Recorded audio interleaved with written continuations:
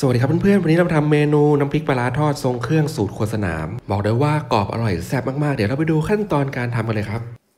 ขั้นตอนแรกนะครับ เรามานำข้าวคั่วออกจากตัวปลากันเลยครับ ผมก็ใช้เป็นปลาข้าวคั่วปลานินนะครับสามตัวนะครับเพื่อนๆ ข้าวคั่วนะครับเราไม่ต้องทิ้งนะครับ เดี๋ยวเราจะนำไปทำในขั้นตอนต่อไปนะครับ ส่วนปลาปลานินนะครับ ให้เรานำไปต้มให้สุกเลยครับ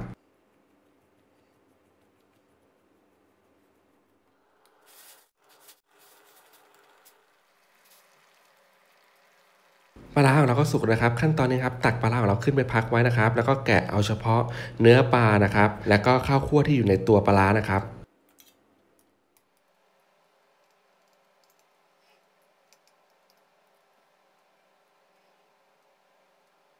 แล้วก็แกะก้างปลาเสร็จเรียบร้อยนะครับ ตอนนี้เราก็ได้เนื้อปลาร้ามานะครับ ในขั้นตอนนี้นะครับ ให้เรานำข้าวคั่วที่เราพักไว้ในขั้นตอนแรกนะครับ ใส่ลงไปเลยครับ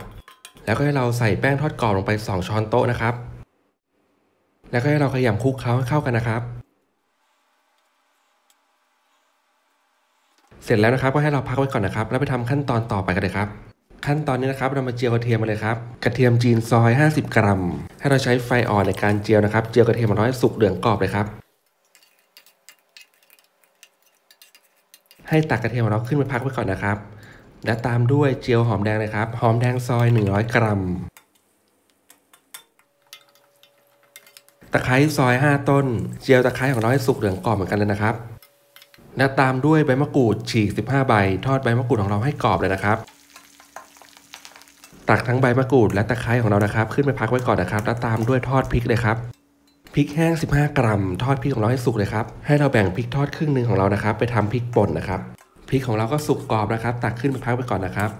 ในขั้นตอนต่อไปนะครับนำเนื้อปลาร้าของเราลงมาทอดกรอบเลยครับ ทอดปลาร้าของเราให้สุกเหลืองกรอบเลยนะครับ ให้เขามีความกรอบเลยนะครับเพื่อนๆ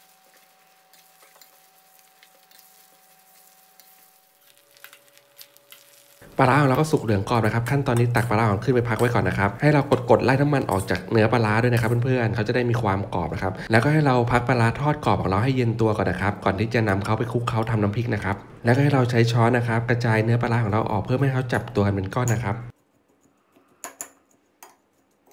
แล้วก็พักปลาร้าของเราจนเย็นนะครับ ขั้นตอนนี้เราใส่น้ำตาลทรายลงไป 1 ช้อนชานะครับ เพื่อตัดความเค็มออกจากเนื้อปลาร้านะครับ แล้วก็คลุกเคล้าให้เข้ากันนะครับ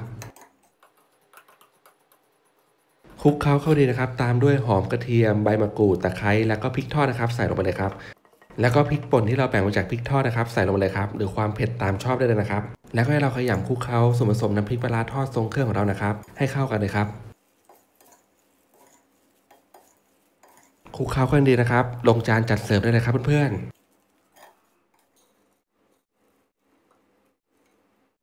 ก็เสร็จแล้วนะครับ เมนูน้ำพริกปลาทอดทรงเครื่องสูตรโฆษณามสีสันสวยงามหน้าตาน่ารับทานมากเลยนะครับ น้ำพริกปลาทอดทรงเครื่องสูตรโฆษณามนะครับ ก็จะมีความกรอบอร่อยนัวแซ่บมากๆเลยนะครับ เมนูนี้นะครับเพื่อนๆก็สามารถนำไปทำทานกันได้ในครอบครัวนะครับ หรือจะนำสูตรโฆษณามไปทำขายสร้างอาชีพก็ได้นะครับ วันนี้ผมต้องขอตัวลาไปก่อนนะครับ วันนี้สวัสดีครับ สุดยอดมากครับ เมนูนี้